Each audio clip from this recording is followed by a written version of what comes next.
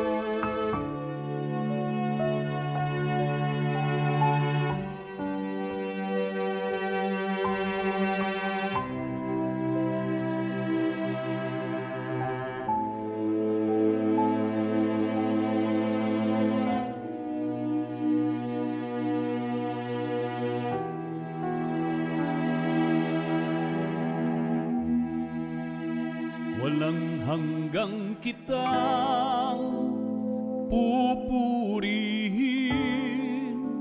Wala nang ang iba pang sasambahin.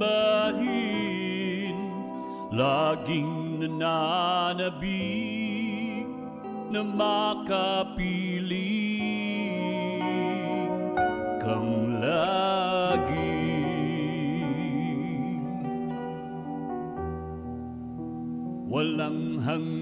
kita.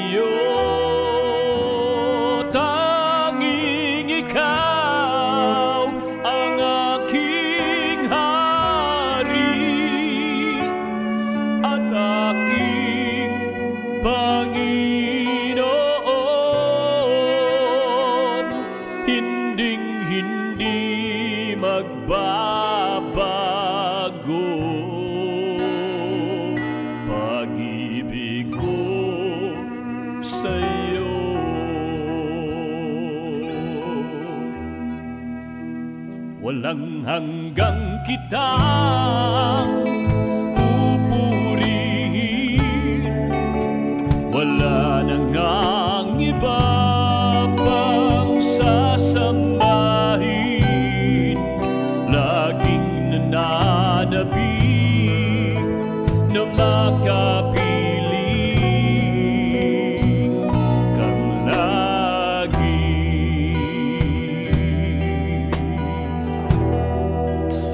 Walang hanggang kita.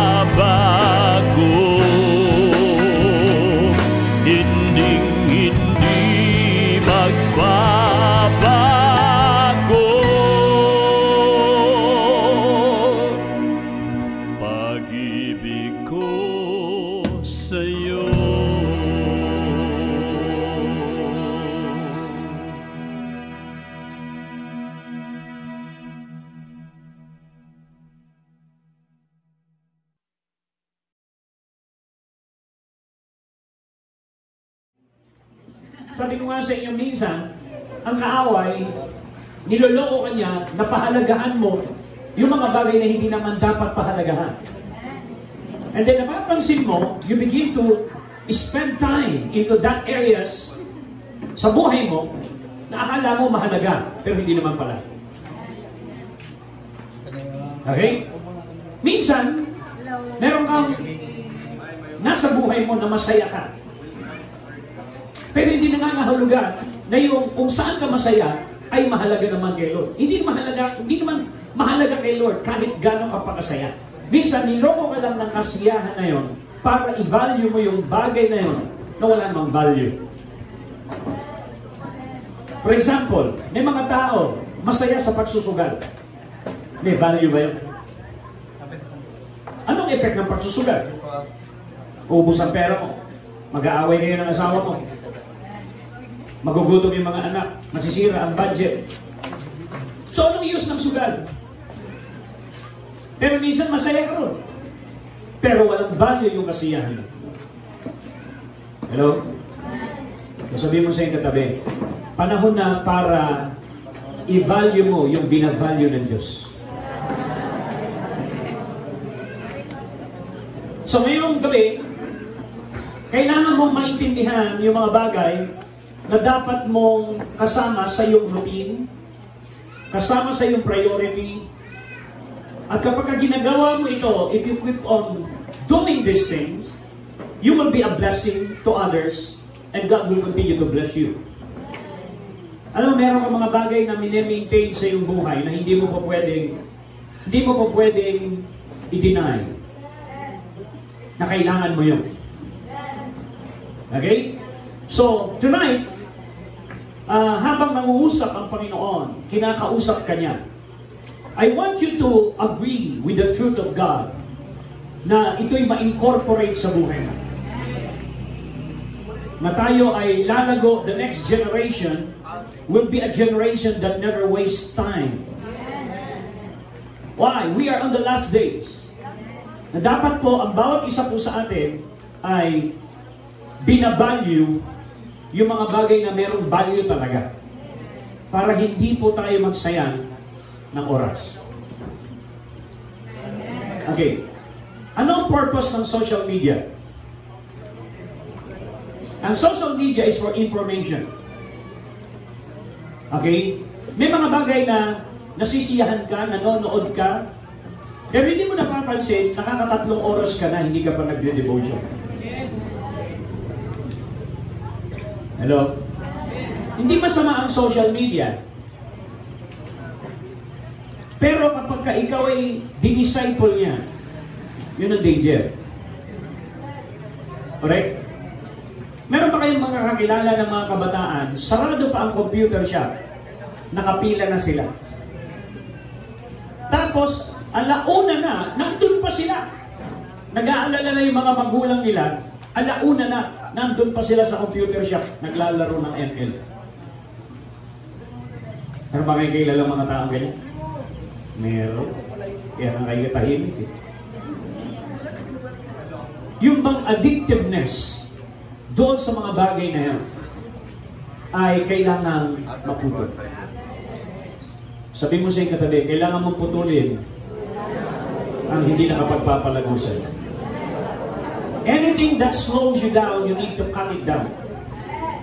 Ulitin ko, anything that slows you down, you need to cut it down. Amen. Ang chismis, tigilan nyo na yan. Huwag kayong madisciple ng kaaway, kababata nyo pa lang chismosa na kayo. Huwag kayong mangingialam sa mga issue ng buhay ng tao na hindi nyo naman issue. Na naiintindihan niyo? Pag merong mga sensitive issue sa church, huwag kayong makikisawsay.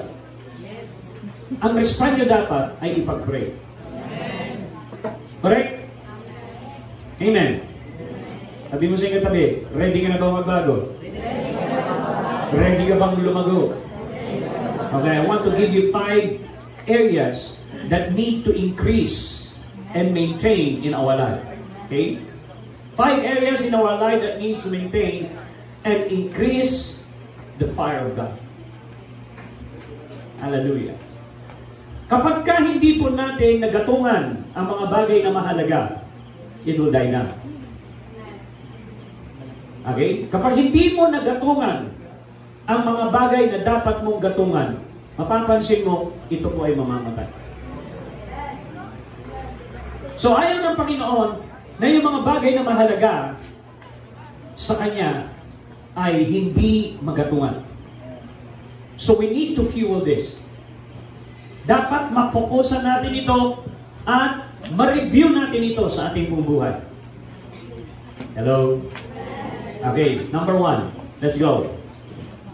Basahin natin yung Revelation 3.15. It says this, I know your works, that you are neither cold or hot. I wish you were cold or hot. So then, because you are lukewarm and neither cold nor hot, I will vomit you out of my mouth. Merong isang church sa seven churches sa Revelation na ganito ang kanyang natagpuan na kondisyon ng spiritual condition ng church. Hindi daw siya malamig. Hindi naman daw siya mainit. Nandun lang siya sa gitna. Ano ibig sabihin nun? Malahininga. Lukewarm. At saan matatagpuan ng lukewarm na yan? Hindi po sa mundo matatagpuan ng lukewarm kasi puro unbeliever yan. Ang unbeliever ay hindi po lukewarm. So ang tinutukoy na lukewarm dito ay mga believer. At yung lukewarm na yan ay nasa loob ng church.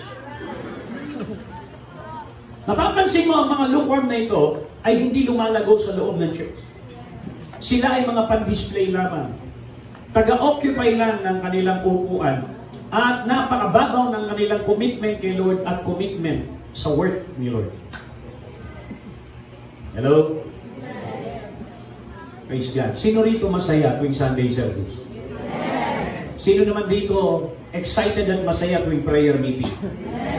Pero bakit wala ka sa prayer meeting?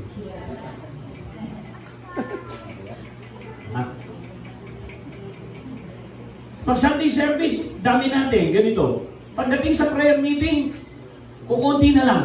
Puro matatanda pa. Tapos ang tawag natin sa kanila, prayer warrior. Eh paano mananalo ang church kung ang mga prayer warrior ay mga matatanda na? Nasaan kayo? Ba't hindi kayo matagpuan sa prayer meeting? Ano sinabi ni John? I write to you young men because you are strong. I write to you young men because you have defeated the enemy. So nasan yung mga young one? Ang natira lang doon sa prayer meeting, what's young? So ibig sabihin, dapat yung mga bagay na napakahalaga sa Diyos ay dapat pahalagahan din natin. Anong nakita niya? Ang tagal ng sinulat ng Bible. Sinulat yan ni John. You just imagine, ang layo-layo, ang layo-layo ng panahon ni John. Tapos ngayon, nangyayari, napupulfill yung prophecy ng word na yan, ng Revelation 3.5. Si Jesus nag, nag-prophesy din sa Matthew 24, Because in the last day, lawlessness will abound, and the love of many will grow cold. Hindi sinabing the love of few, the love of many. So bakit nag-grow cold? Kasi hindi niya napukusan naggatungan. Ang Diablo ang galing manggatong ng galit hanggang sa mag-aaway na kayo na hindi mo napapansin. Gagatungan niya ng intriga yung mga churches hanggang sa mag-uusap-usap yan hanggang sa meron na nagkakampihan against kay pastor. Ang galing manggatong ng kaaway. Kaya ang tawag sa kanya, Marisol. Bakit? Ang galing sumulsol. Ang galing mag-fuel. Until relationship is affected. So makikita natin, number one, fuel the fire for our Lord. Sabi mo sa iyong katabi, your top priority is your relationship with God. That's why the greatest commandment is what? Love God with all your heart, with all your soul, with all your strength. So paano mo ginagatungan ang apoy ng Diyos? Sa iyong buhay. It is grown and maintained through atmosphere of worship and praise, both personal and corporate devotion. Let me sa church, hindi masama para sa mga leader na mag-check ng inyong mga devotion. Sa inyong school, you were checked by your teacher sa iyong mga assignment. They will see to it kung nare-retain yung mga itinuturo nila sa inyo. Kaya meron pa kayong mga assignment na ginagawa. Mas magandang makaset up ang inyong mga leader, inyong mga cell leader, young youth pastors, na maglagay kayo ng standard na kayo ay magkaroon ng ma-check, ma-monitor ang inyong devotion. Sa amin, meron kaming setup na chine-check po namin ang kanilang praying in the Spirit. Yung tongues nila, nagpe-pray. We want to see if their spirit is engaged in prayer. So, minomonitor po namin yon kahit 30 minutes to 1 hour praying in the Spirit sa kanilang personal life. And then, tine-check namin sa group chat or sa, sa Sunday service yung kanilang mga notebook. Kung sila ay nagde-devotion kay Lord. Ano ang beauty? Ano yung wisdom dito? Ang beauty rito is first, you are disciplined to love the Lord until you come into the level of delight. You can never come into a level of delight if you never pass the stage of discipline. Alam niyo yung mga nagpiapiano? Di ba? Minsan nagpapiano ka, pini, nagkakaroon ng fingering, nagkakaroon ng tamang galaw. 1, 2, 3, 4, do, re, mi, re. So makikita mo na, tuturuan ka muna ng basic. And then suddenly, hanggang sa ikaw ay mapunta doon sa discipline. And then habang nagiging, nagkakaroon na ng, ng familiarity ang mga kamay mo na kumapa ng mga nota until you come into a level of delight. When you come into a level of delight, doon ka na nakakapag-compose ng kanta. Okay? So anong purpose? Bakit kailangan mag-set up yung isang standard na ganyan sa church at sa inyong buhay corporately? Para ma-establish, ma-monitor na nagagatungan mo ang apoy mo Lord. Hello? Sino po rito mayroong ganyang standard sa loob ng church? Meron? Wala? Wala? O maglagay na kayo. Mag-suggest kayo sa inyong mga sa mga leaders ninyo na magkaroon ng checking ng mga devotional life. Why? Kailangan. Yearly, nagpapacheck up ka. Or monthly, nagpapacheck up ka. Bakit? Bakit ka chine-check up? Baka may lumala. Correct? Eh, paano yung spiritual life mo? Eh, paano kung nag-backslide ang isang bagay, ang isang tao? Paano siya? Bakit siya nag-backslide? Kasi hindi mo napansin na ikaw ay nanlamig na pala. Bakit hindi mo napansin na ikaw ay nanlamig na? Kasi walang nagmo-monitor sa'yo ng iyong devotion. Hindi, walang nagpapaalala sa'yo na kailangan mo mag-devotion. So wala kang ginagawang paggatong.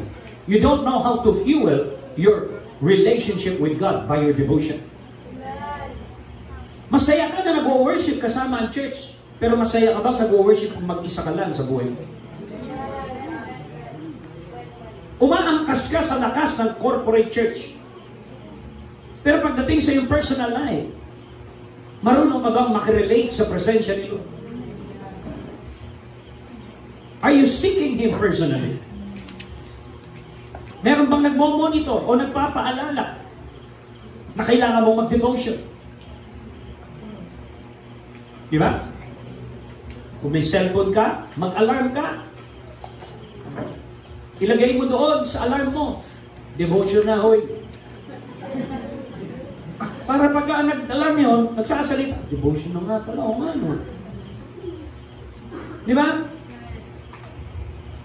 Kung pu- pupunta ka sa information, social media, buksan mo yung alarm clock, yung timer, i-timer mo. Kung wala kang disiplina, yung madali kang ma- mawala sa iyong sarili, yung nakakalimot ka na limang oras ka na pala. Hello? Ah, sabi mo sa inyo katabi, naiintindihan mo ba ito?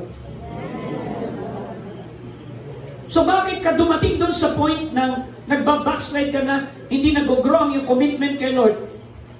Kasi, hindi mo napansin, yung devotion mo, apektado na pala.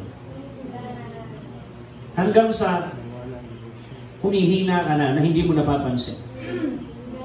Hanggang sa uma-absent ka na sa prayer meeting, uma-absent ka na sa Sunday service. Hanggang sa ipinagpapalit mo na yung Sunday service sa outing. Hello? Sabi mo sa yung katabi, huwag mo ipagpalit si Lord sa temporary things ng buhay. Pero ito naiintindihan yung number one points natin. Mahalaga ba yan? So dahil mahalaga yan, ano sinasabi? What you, what you consider valuable, you spend time. Nagbibigay ka ng oras sa mga bagay na mahalaga sa iyo. Amen. Praise God.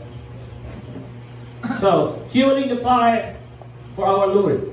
It is grown and maintained through atmosphere worship and praise, both personal and corporate devotion. Leviticus chapter 6 verse 12. Merong utos ang Panginoon through Moses sa mga Israelites. Ito ang sinabi, chapter 6 verse 12. Meanwhile, the fire on the altar must be kept burning. It must never go out. Each morning, the priest will add fresh wood. Everybody say, you are the priest. Every morning, sabi mo, you fuel fresh wood. Ano yung fresh wood yun? Ino-opera mo si Lord ng sariwang sacrifices. Bakit? Yung sacrifice mo kahapon, tapos na yun. Yung mga ibinigay mong obedience kahapon, tapos na yun. Are you willing to give the Lord a fresh obedience? Fuel the fire. Each morning the priest will add fresh wood to the fire and arrange the burnt offering on it. He will then burn the fat of the peace offering on it. Ano na yung i-burn? Yung fat. Why? Because the fat belongs to the Lord. Ano speaks nitong fat na ito?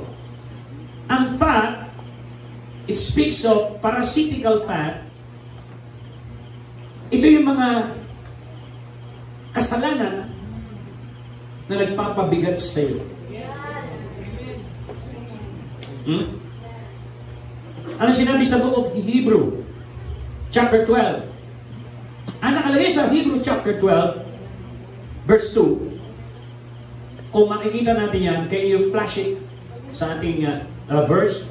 Sa Hebrew chapter 12, verse 2, ano yung mga dapat na sinasabi ng Hebrew ah, after you look to Jesus, the author and the finisher of your faith. As you consistently focusing on Him, sa verse 2, itong nakalagay, sabi niya, Who for the joy was set before Him endured the cross. Verse 3, verse 3, ang sabi dito, Consider Him who endured such from sinner against Him, lest you become weary and discouraged in your soul. And in verse 4, You have not yet resisted to bloodshed and striving against sin. Ano ba verse 5? Okay, sa verse 1. Sa verse 1. Verse 1. Therefore, we also since we're surrounded by so great cloud of witnesses, let us lay aside every weight and the sin which so easily ensnare us, and let us run with endurance the race that is set before us. Sa book o sa ano sa amplified version, pansinin po ninyo sa amplified, ito ang nakalagay. Therefore then, ano sinabi niya? Since we are surrounded by so great cloud of witnesses who have borne testimony to the truth, let us strip off the throw aside and throw aside every encumbrances. Lahat daw po ng nakakapagpabagal sa iyo. Unnecessary weight. Yun po yung facts. Unnecessary weight and the sin which readily defly and cleverly clings to and entangle us. Ano yung mga nakapagpapabagal? Let us run with patient endurance instead of active persistence. Sa message translation, meron ba? Sa message translation, sabi niya, Do you see what this means? All these pioneers who blazed the way, all these veterans cheering us, it means we better get on with it. Strip down Start running and never quit. No extra spiritual fat. Kita ko ninyo yan? No parasitic sin. So may mga parasites na kumukuha ng energy mo na hindi mo napapansin. For example, sobrang paglalaro na adik ka na sa ML, hindi mo napapansin. Kinukuha ng ML yung energy mo. Ha? Sabi mo sa inyo tabi, mag-ingat ka sa mga bagay na nag-enjoy ka. Kasi hindi lahat nung na-enjoy mo isang bagay, eh, nakakatulong sa'yo. Diba? For example, yung mga bagay na, kung tutusin, hindi naman masama yung maglaro. Pero kung Pinapagalitan ka na ng nanay mo. Alas stress na, nagkikendy crush ka pa. Eh, malala na yan. Apektado na yung pagtulog mo. Instead na natutulog ka ng alas 10, magigising ng maaga. Ang tulog mo iba na. Umaga na. Hindi ka naman nagtatrabaho sa call center. Wala problema sa nagtatrabaho sa call center dahil nagtatrabaho yun. Pero ikaw, wala ka naman sa call center at nagpupuyat ka. And then pagising mo, na trabaho na ng nanay mo, yung dapat mong trabahuhin. Tapos gigising ka na lang, kakain ka.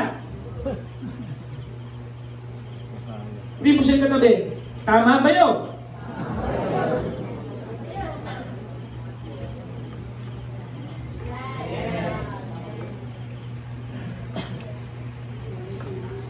Kasi masisira yung spiritual life mo.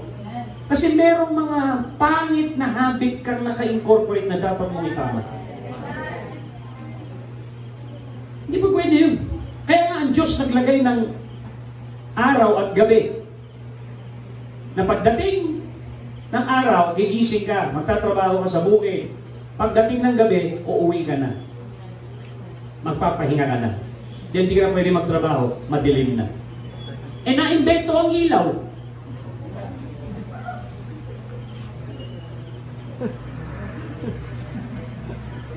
Nang matulog ngayon, may ilaw eh. Hello? Sabi mo sa yung katabi, ayusin mo buhin. Habang bata ka pa, ilagay mo sa tama, ilagay mo sa tamang disiplina, ilagay mo sa tamang aksyon so that you value what God's value. Correct? Hello? Okay, let's go back sa ating slide. So, ano sinabi rito? Leviticus 6.12 Let the fire on the altar must be kept burning. It must never go out. Each morning the priest will add fresh wood to the fire and arrange the burnt offering on it. He will then burn the fat of the peace offering on it. Remember, the fire must be kept burning on the altar at all times. It must never go out. Hindi mo sa'yo katabi, hindi pwedeng mamatay ang pag-ibig na gano'n. Alam niyo po kung bakit na-rapture si Enoch? Iisa lang, ang napakaliit lang ng description kay Enoch. Ang nakalagay doon, he walked with God and was not. Ganun lang. Yun lang yung description kay Enoch. Lumakad lang siya araw-araw kasama si Lord. And then na-rapture na siya. Ibig sabihin, ang puso niya, laging umaapoy para kay Lord, araw-araw. Laging nandoon ang pagkauhaw niya. That's why he walked with God. Sabi mo sa katabi, walk with God, not with the devil.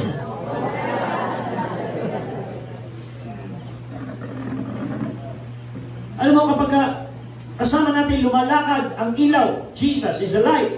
Ano sinabi doon? Babahan ng ilaw ng buhay sa kanyang buhay. You walk with God. You walk with the light. You will never stumble in darkness. Kaya yan ang command ng Panginoon. Sino rito gustong rapture? Di mo sa katabi, keep the fire burning. Katulad ni Enoch, he walked with God. Hindi siya nag-walk with God, Enoch never walk with God tuwing Sunday lang. Si minsan, binibisita lang nila si Lord tuwing Sunday. Alam mo, bakit hindi ka lumalakas? Kasi binibisita mo lang ang presensya ni Lord. Ayaw mong tumira. ha? Hello? Kung ikaw ay isda, kung ikaw ay isda, at binibisita mo lang ang dagat, tuwing Sunday ka lang, lumalangoy. Ano nangyayari sa buhay mo? Maghihingalo ka pagdating ng Monday hanggang Tuesday. Buti merong midweek. May pang salo. Tapos alis ka na naman sa dagat ng Thursday. Ingalo ka na naman ng Thursday, Friday, Saturday. Tapos pagdating ng Sunday, tumatalon ka na naman. Ha? Kaya meron mga kanta. And we will dive into the presence of the Lord. Tuwing ano? Tuwing Sunday ka lang nagdandal. Sabihin mo sa iyong katabi, huwag mong bisitahin ang presensya ni Lord. Tu mamuhay ka sa presensya ni Lord. Ah, pangan po natin ang.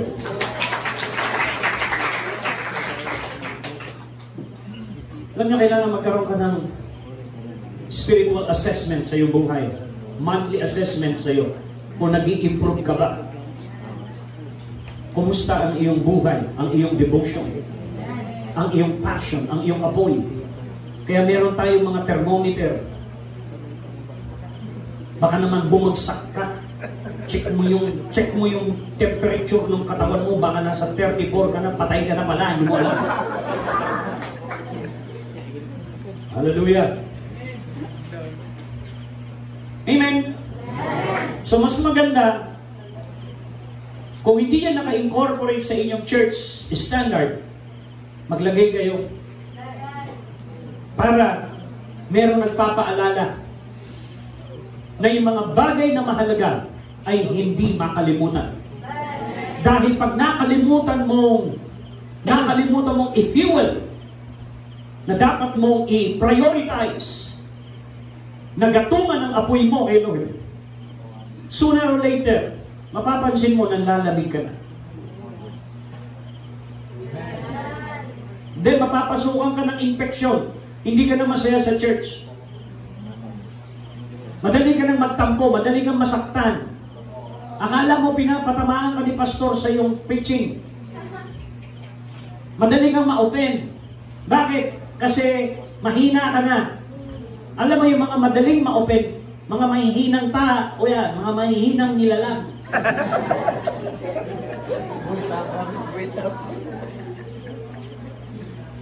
Sabi mo sa iyo katabi, naintindihan mo?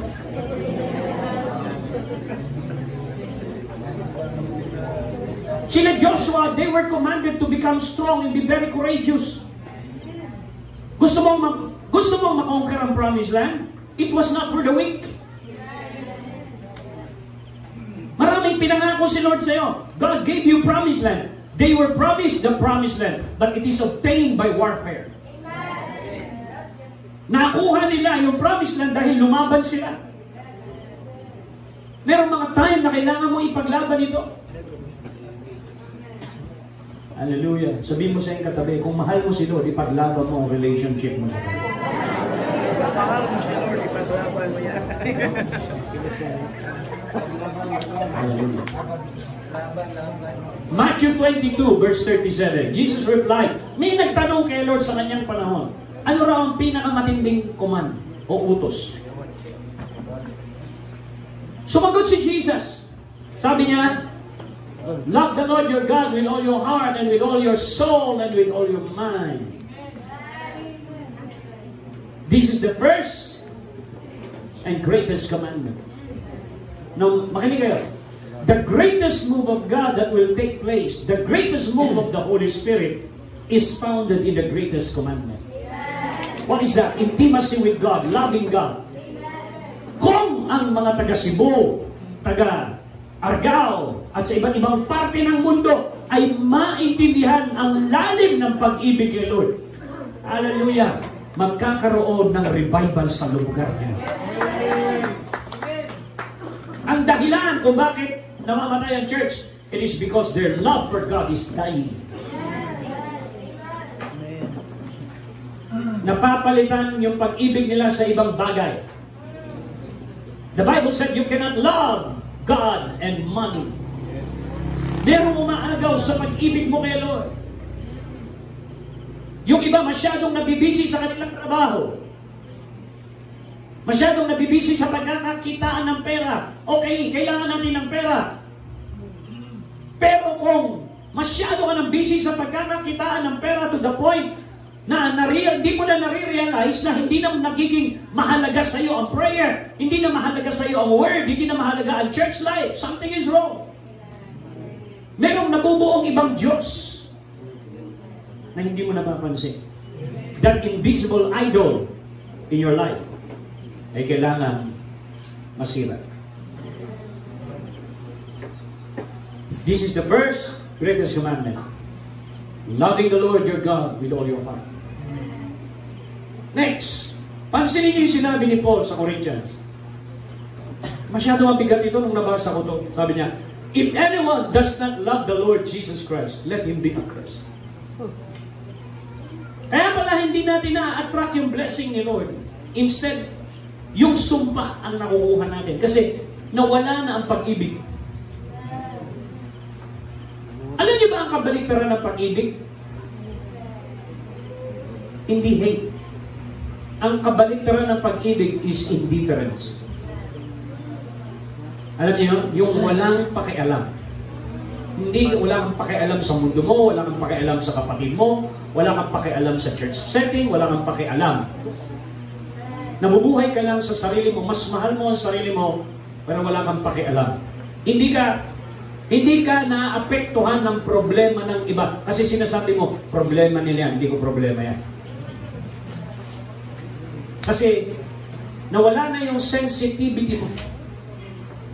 Nawala na yung pag-ibig mo.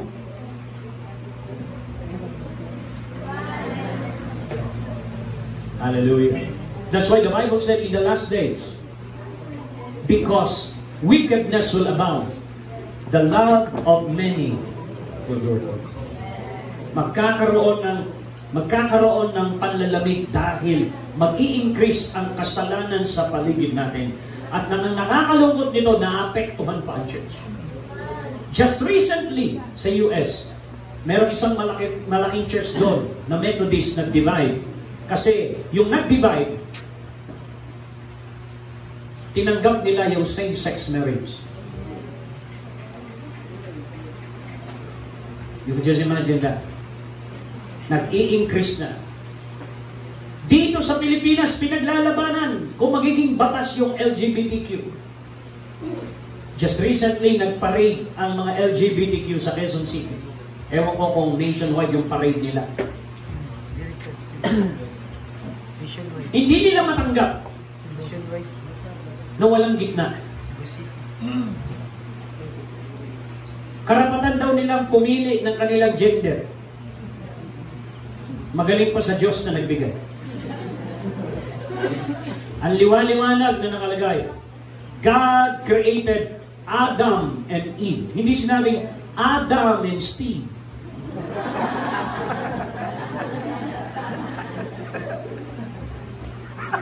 Di ba? So makikita po natin, ang mundo ngayon kakaiba na. Para bang yung lifestyle ng mundo ngayon, papunta na doon sa atmosphere na katulad ng panahon ni Noah. No? Katulad ng Sodom and Gomorrah. Na ibig sabihin, bago dumating ang apoy o fire of God's judgment, ay yung lifestyle ng Sodom and Gomorrah ay unti-unting tinatanggap ng society. Lawlessness will abound. The love of many will grow cold. Sabi mo sa katabi, bantayan mo ang apoy mo kayo. Praise God. Hallelujah. Ano sinabi rito? If anyone does not love the Lord Jesus Christ, let him be accursed, O Lord, come. Maranatha. Number two, fueling the fire for one another. Ano ibig sabihin nito? Alam niyo minsan ang strategy ng kaaway para hindi tayo lumago sa ating pag-ibig sa isa't isa.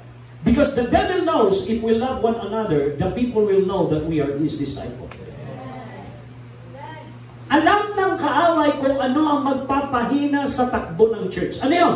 Broken relationship. Kaya kapag kasira-sira ang ating relationship sa loob ng church, mahirap mag-commit yung mga tao. Ayaw nilang mag-commit dahil yung pag-ibig sa isa't isa ay hindi na ganon kalalim. Namumuhay na ang church sa mga suspicious. Nagbubulungan lang yung mga tao. Nagbubulungan lang yung dalawang tao. Ang iniisip mo, ikaw na pinagbubulungan nila. Meron ka ng tamang hinala para kang nakasyabu. Tama. Hallelujah. So, ano ibig sabihin nito? Mag-ingat po tayo sa tactics ng kaaway. To destroy the church is to destroy relationship with one another. Kaya sabihin mo sa iyo katabi, bantayan natin ang ating relasyon sa isa't isa. Kaya natin ang ating relasyon sa Jesus. Hello? Are you here? Huwag kayong ma-open, makinig ha? Huwag kayong ma-open o masasaktan kung ang Word of God sa pulpit na naririnig nyo every Sunday ay masakit. Huwag niyong pe- personalin ng pastor na kung nagsasalita siya ng ganon at nakatingin sa iyo, eh ikaw na yun. Eh paano kung mayroon siyang stiff neck at that time, hindi siya makalingin doon kasi masakit. Ganun lang. Hallelujah. Napaka-special mo naman. Gumawa ang preaching ng pastor para sa iyo lang.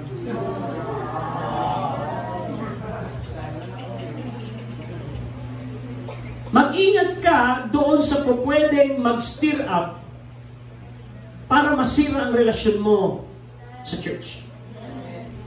Ay maraming mga Kristiyano ngayon na pag nasaktan, lilipat sa ibang church. Hanggang sa palipat-lipat na siya. Pag-ikot niya ng isang taon, kalilipat niya, nakabalik siya doon sa una niyang church. Ah, Dito na pala ako.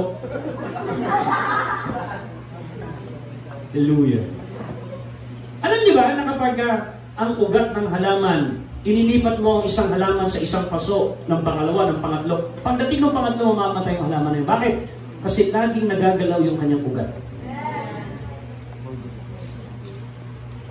So, paano mo pagalalimin ang ugat mo? Sabi mo sa katabi, magpasensya ka sa katabi. Kasi kung wala kang pasensya sa katabi mo, ha? Ang laging resulta ng offense sa loob ng church ay hiwalayan. Alam mo, titingin ka sa paligid mo, maraming nakaka-offend. Pwede ka nga ma-offend sa amoy ng katabi. Ka-offend naman. Kung hindi mo pipigilan yung sarili mo hindi ka namatay sa sarili mo, ha? Parati kang na-offend. At ito ang taktika ng kaaway sa loob ng church. Offense. Lagi kang na-offend. Hmm? Sabi mo sa iyong katabi, dapat mag-grow ka.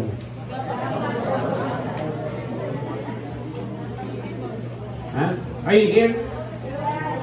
Eto, makinig kayo ha. Makinig kayo. Ang mga pastor ninyo, hindi yan robot, tao yan.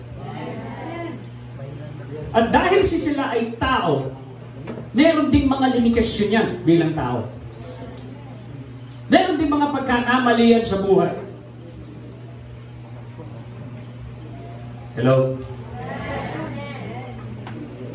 Bakit kapag ang miyembro ng church nagkasala, kino-comfort? Bakit pagka nagkamali ang pastor, walang comfort, ilalayasan? So paano lalago ang church? Kung hindi tayo magtutulungan.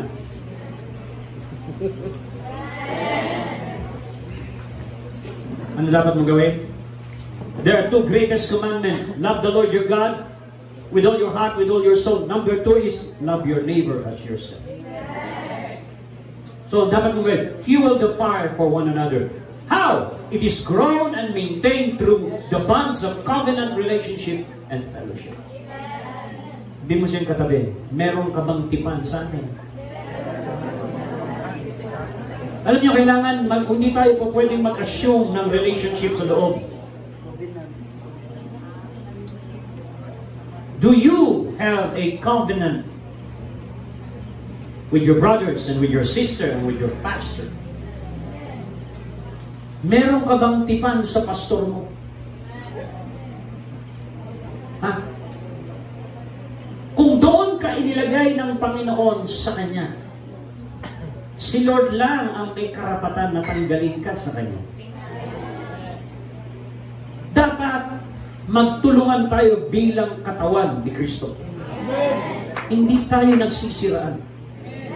Dahil iisa lang ang katawan ni Lord. Hindi dalawa. Dito sa Argao, isa lang ang katawan ni Lord. So that's why you need me and I need you so that we could what? Nurture one another, strengthen one another. Meron kang lakas na pwedeng palakasin ang kahinaan ng iba. Meron namang kalakasan yung iba na pwedeng palakasin ang iyong kahinaan. Kaya ang tawag dyan ay body. Hello? Paano kung ayaw mong tumang... Paano kung ayaw mong manghingi ng tulong sa kaliwa mong kamay? Masyado kang ma-pride. Gusto mo ikaw lang ang nagagamit ito, ayaw. Ito lang, magpapalakas.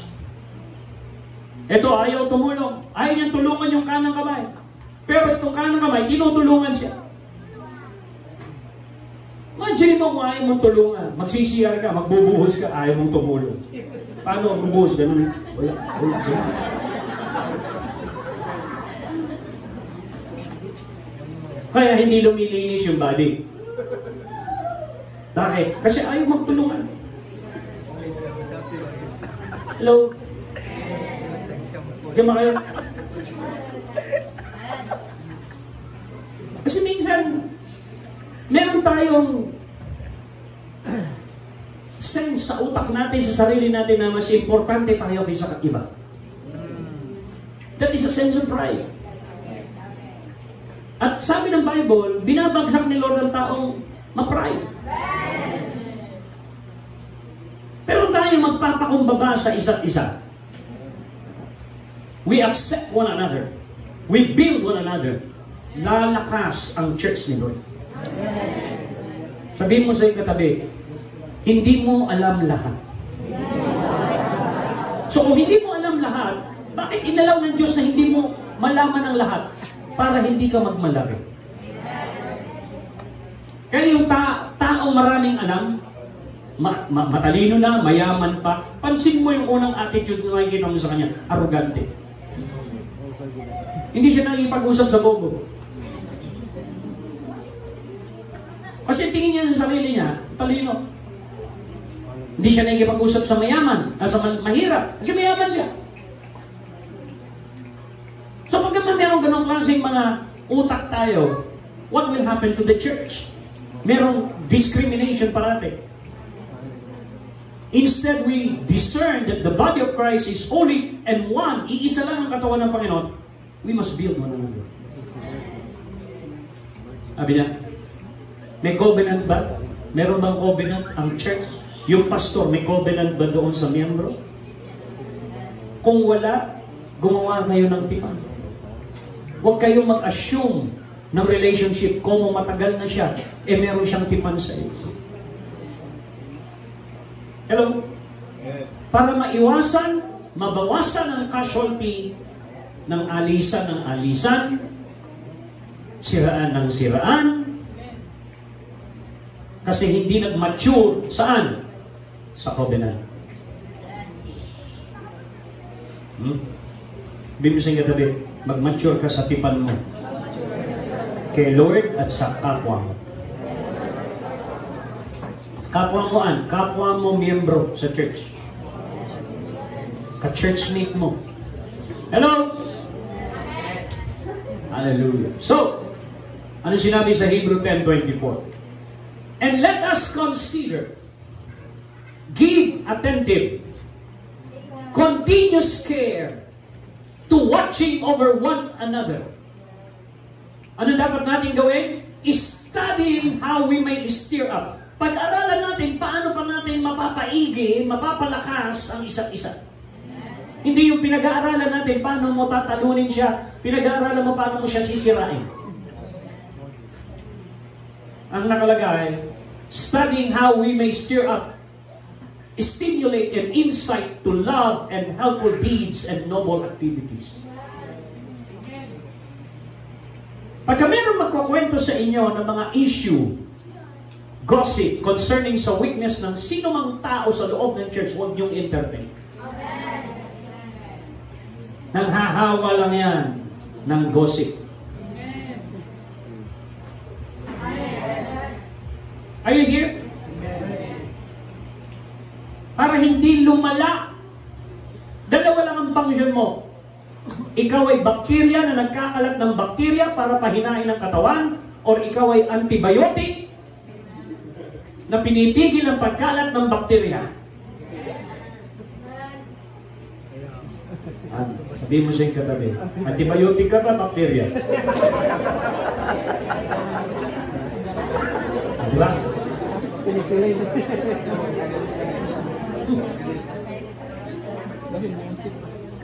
Music. May problema na, nagkakalat ka pa, nagchichismis ka pa. Anong ginagawa mo? Sinisira mo lalo yung church. Ba't hindi ka mag-pray? Para mapigilan ang pagkalat ng bakterya. Pag may dumating sa'yo negative, bigay mo kay Lord.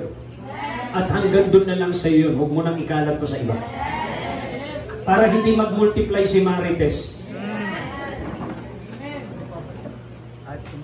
One of the tactics of the enemy today to weaken the church is a broken relationship inside. Dahil hindi nag-mature. Ano sabi rito? To love and helpful deeds and noble activities, not forsaking or neglecting to assemble together as believers, as is the habit of some people, but admonishing, andun yung pag-admonish, warning, andun yung pag-warn, urging, encouraging one another, and all the more faithfully as you see the day approaching. So, ibig sabihin, mas magiging mahalaga, itaas natin ang value ng fellowship natin sa isa't isa, lalo na raw na malapit nang dumating si Lord. Bakit? Kasi pagka nawala yung fellowship, para kang uling na nagbabaga na tinanggal sa karamihan ng apoy, babalik ka sa pagiging uling. Mawawala ang iyong baga.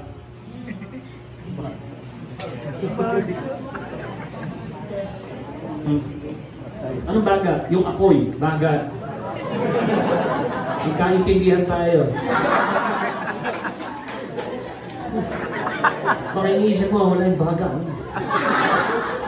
Ay, pag tinanggalan ka rin ng baga, wala kang oxygen. Patay ka rin. Hallelujah. Sino ito naintindihan?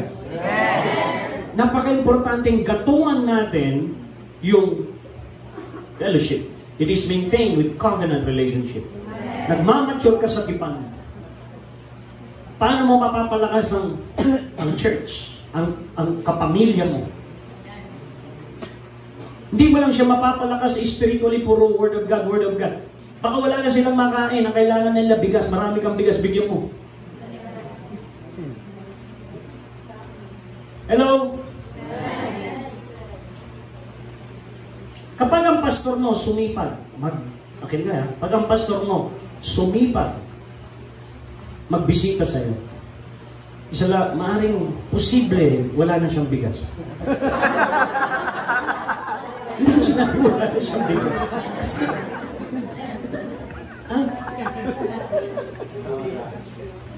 Minsan ikaw rin bumisita sa pastor mo, hindi lang ikaw yung binibisita niya. Ba't di mo siya bisitahin? Tignan mo kung nung may tutulong mo ron. Tignan mo kung yung kanilang lalagyan ng bigas, mumingiti na. Ha? Mag-isip ka ng strategy para lumalim yung relationship. Andiyan ba, andiyan ba kayo? Diba? Magbe-birthday siya. Puntahan mo, bigyan mo regalo. Hindi yung puro prayer lang. Pastor, pagpe-pray kita. Ang tagal niya nang tumatanggap ng prayer. Hallelujah. Hindi lang prayer kailangan ni pastor. Kaya nga nagpulta niya. Mag-dedicate kay Lord at sa kanyang church. I-appreciate mo naman yung pastor mo. Ni ballpen, di mo mabigyan. Magkano lang ang ballpen? Di ba? Minsan pag gigisingin mo yung pastor mo, madaling araw. Pastor, gising ka ba? Last toss na madaling araw. Siyempre, tinawagan mo. Tapos tatanungin mo kung gising siya. Siyempre. Baka naman tulog yun, sumagot sa'yo.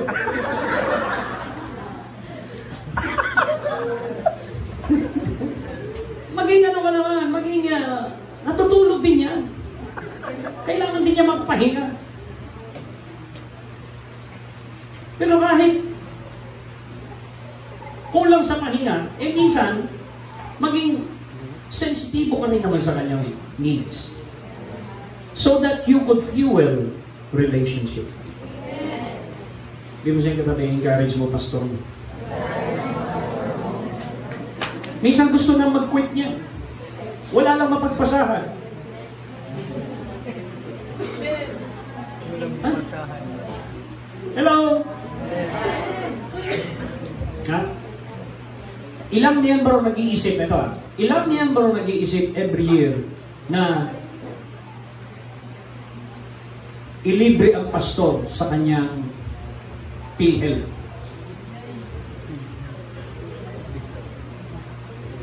Wala. Ay, PhilHealth na. Malibre mo siya. Di ba?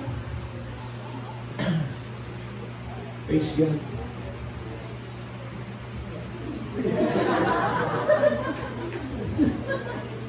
Kaya minsan humihina yung walang nabobore yung church. Bakit? Namamatay na yung level of concern, namamatay na yung level of commitment, namamatay na yung level of relationship sa loob. Bakit nanlalamig? Nagpupunta ka na lang doon, compliant ka na lang.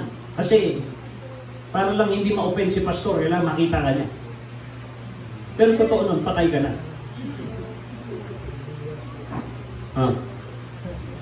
Hello?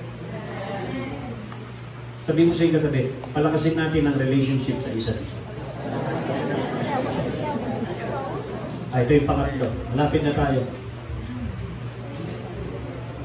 Fueling the fire to win soul.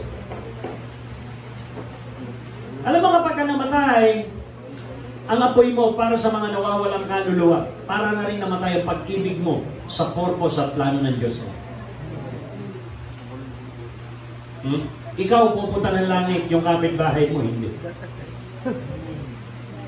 Hindi ka ba nakukonvict no? Ha? Kahit, kahit ipag-pray mo na sana yung, yung mga tao na yun, makapagbigay ka man lang ng tracts.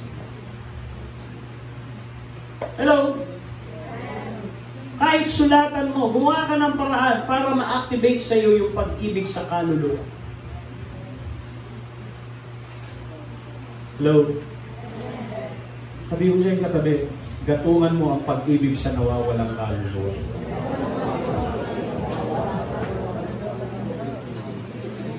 Alam mo ka ba, bakit hindi nawawala na yung joy?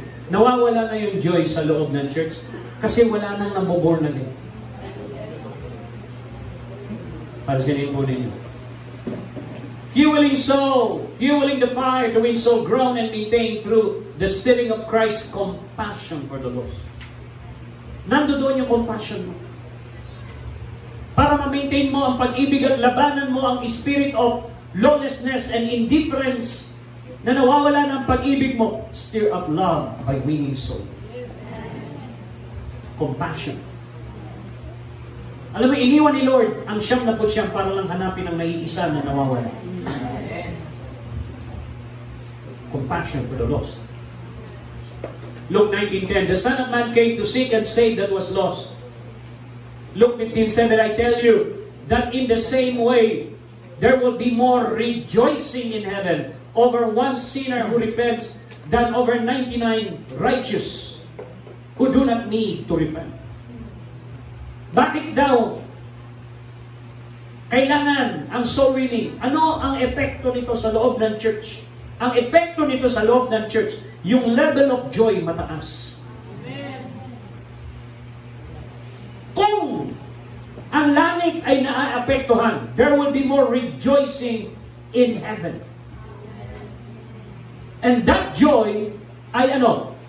Magmamanifest sa church. Isipin mo bakit bakit nawawala yung joy. Tingnan mo yung mga tao sa paligid mo kung sila pa rin yung tao 10 years ago. 5 years ago. Walang mga bago. Pero pansinin mo kapag ka merong bagong dumating, pakiramdam mo masaya ka. Pansinin mo kapag ka merong nagkaroon ng anak, nagkaroon ka uli ng kapatid, ng anak ng pangalawa ang nanay mo, masaya yung atmosphere sa bahay. Bakit? Meron na namang naidagdag. Hindi ba? Yung, yung aso nyo nga, nanganak, tuwang-tuwa ka eh. Aso nga yun eh. Eh paano na kung manganak ka sa spiritual? By evangelism. Hello? Sino rito nakapag-evangelize, nakapagpatanggap, tuwang-tuwa yung puso niya? Taas ang kamay. Kaya nakaka-addict yung evangelism. Bakit? Kasi pag nakatanggap ka, meron kang joy na hindi mo ma-explain. Pinaparamdam sa iyo ng Diyos yung joy ng langit sa puso mo. Kaya merong mga nakakaranas gano'n, hindi mo na mapigil sa evangelism. Bakit? Tuwan-tuwa sila, naka-addict na sila doon sa tuwa. It's a joy. The joy of salvation. Hello? Praise God. Sabi mo sa yung katabi, mag-evangelize tayo.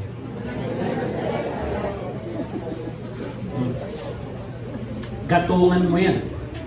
Huwag mong hayaan yan ay mawala.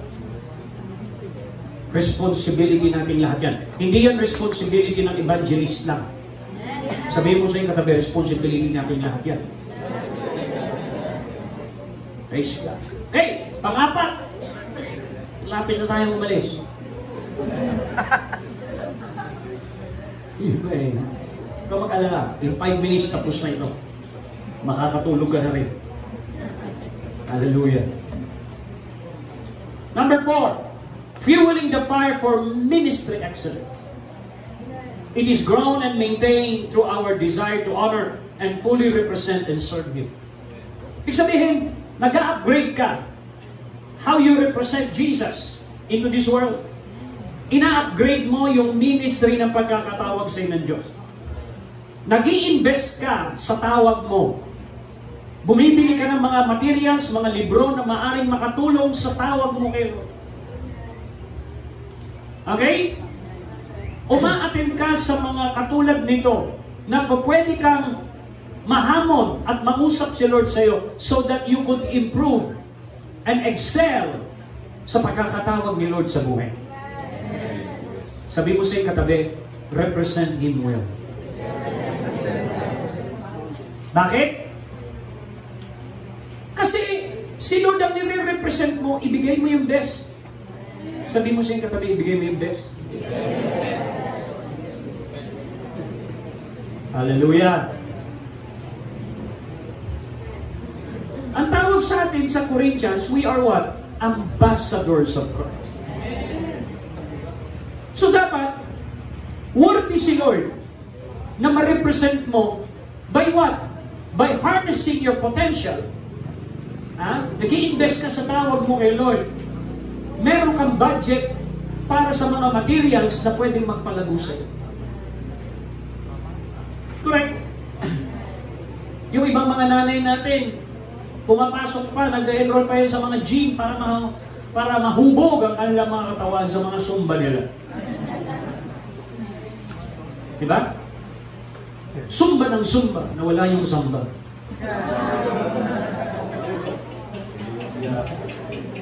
Hallelujah.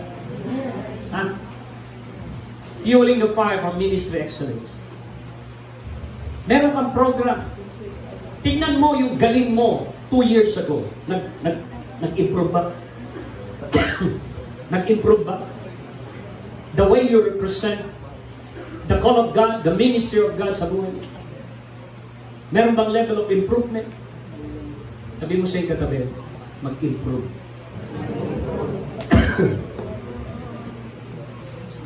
so, 2 Corinthians 5.20 We are therefore Christ's ambassadors, as though God were making His appeal to us. We implore you on Christ's behalf, be reconciled to God. We are ambassadors. Matthew 28 verse 19 Therefore go and make disciples of all nations, baptizing them in the name of the Father, the Son, and the Holy Spirit. Pag sinabing baptize, saturate, saturate them in the presence of the Father and of the Son and the Holy Spirit. It's meaning to say, you build your capacity to saturate and influence the people around you by the presence of God. The presence of the Father, the Son, and the Holy Spirit. And then sa verse 20, and teaching them to obey everything I have commanded you. Ano yung mga bagay na kinumat ng Panginoon at tinuro niya sa kanyang mga disciple? Ang itinuro ng Panginoon sa kanyang mga disciple, it's not about the church. It's about the kingdom. Ang may task para i-build ang church ay si Jesus. Jesus said, I will build my church. The gates of hell shall not prevail against my church. So anong ginagawa ng fivefold? Nakikitulong sila sa pagbibuild ni Lord sa kanyang church.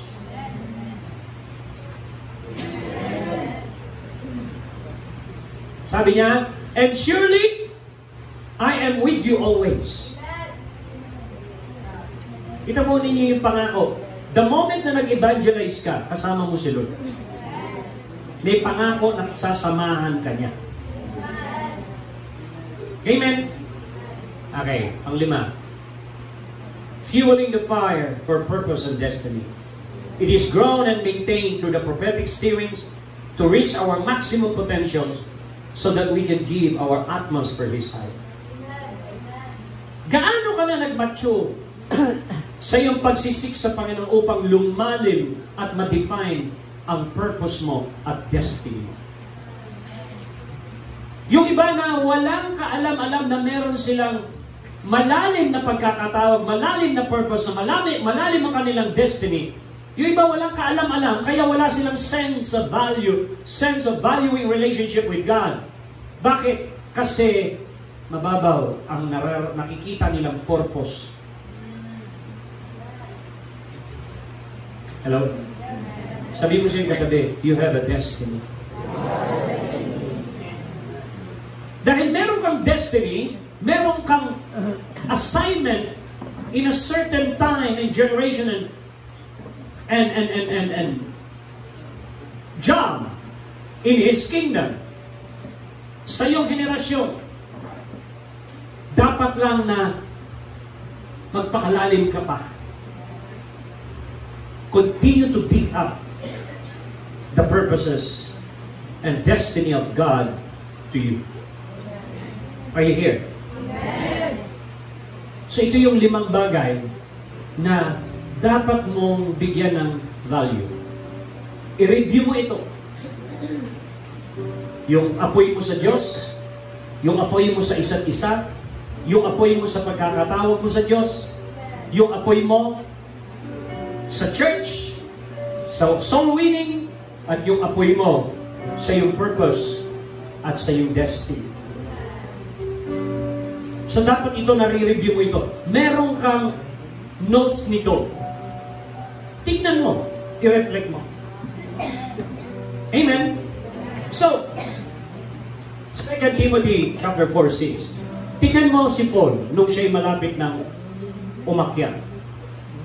Sabi niya, For I am already being poured out as a drink offering. Ano ibig sabihin nun? Lahat ng ininvest ng Panginoon sa kanya, sa pa sa baso, it was poured out for the kingdom. Sabi niya, ah, as I poured out as a drink offering and the time for my departure is at hand. I have fought the good fight. I have finished the race. I have kept the faith. Si Paul lang ang nagsalita katulad ni Jesus doon sa cross, sabi niya, it's finished. At si Paul lang ang nakapagsalita, I have finished the race. Sana itong generation nito ay matapos niya ang kanyang takbo. That all of us will cross to the finish line of what God has called us at dapat nating ipangsyon at i-demonstrate sa ating kapanahonan. Sabi mo sa iyong katabi, let's fuel the fire of God. 2 Timothy 4.6 I say this because I won't be around to help you very much longer, Timothy. My time has almost run out. Very soon now I will be on my way to heaven. I have fought long and hard for my Lord. And through it all, I have kept true to Him. And now the time has come for me to stop fighting and rest. Nagpapaalam si Paul. Nagpakita siya ng modelo kay Timothy. Sabi niya, Timothy, ipinapasa ko naman sa iyo ang same na passion ko kay Lord.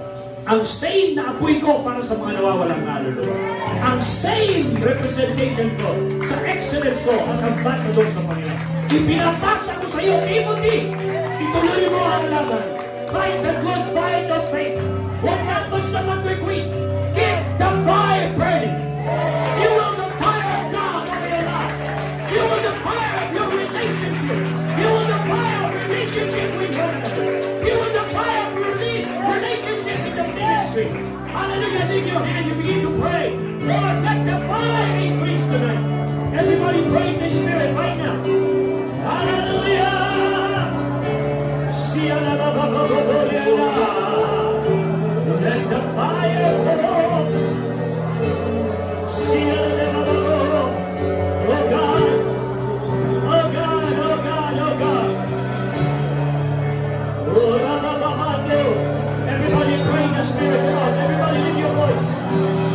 Let the